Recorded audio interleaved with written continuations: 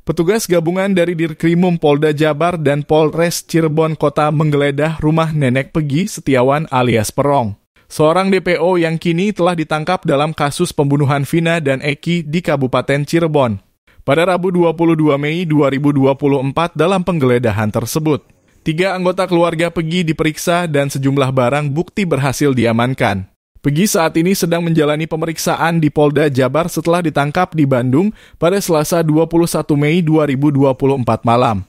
Kasat Reskrim Polres Cirebon Kota AKP Anggi Eko Prasetyo mengatakan bahwa pihaknya yakin tidak ada kesalahan dalam penangkapan ini.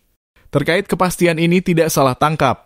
Itu insya Allah tidak salah tangkap, ujar Anggi. Kamis 23 Mei 2024 Anggi juga memastikan akan mengungkap fakta-fakta baru setelah penggeledahan tersebut.